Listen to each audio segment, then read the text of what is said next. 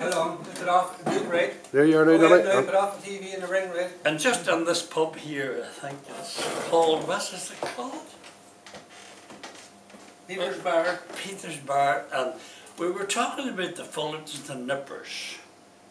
And Johnny Fullerton to me was the only man for some unknown reason that had that kind of a lovely way of singing our traditional songs. And I used to get him as a wee fella to sing what I discovered later on was called the Sager Trachea.